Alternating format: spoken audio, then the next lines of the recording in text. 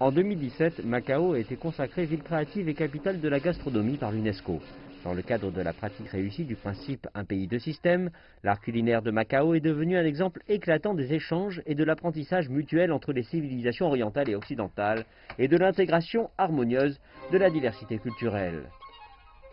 Les chemins culinaires des rues et des ruelles portent les aspirations sans fin des citoyens de Macao à une vie meilleure. Le documentaire présentera de manière exhaustive la naissance, l'évolution et la prospérité de la cuisine de Macao, ainsi que les conditions de vie des citoyens de Macao qui se trouvent derrière cette cuisine, faisant des saveurs de Macao une carte de visite de premier plan. China Media Group enverra une équipe créative d'excellence pour coproduire le film avec les services concernés de Macao en utilisant la technologie 4K à ultra haute définition. Monsieur Shen Haixiong, le vice-directeur du département de la communication du CC du PCC et président de China Media Group,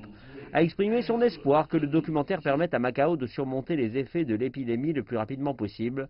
tout en jouant un rôle positif pour contribuer à une rapide reprise de l'activité touristique de Macao et au renforcement de son attrait en tant que marque culturelle. CMG est disposé à mener échanges et coopérations étendues avec tous les secteurs de la région administrative spéciale et à contribuer conjointement à la prospérité et au développement de Macao.